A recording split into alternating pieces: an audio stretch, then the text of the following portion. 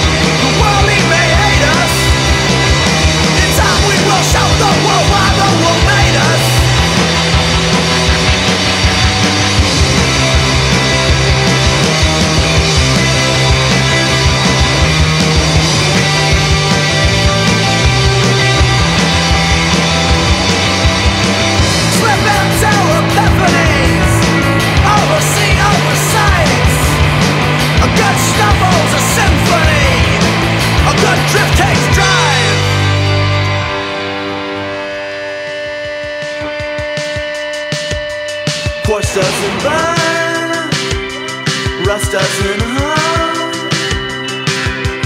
Maybe we should blame it on the structures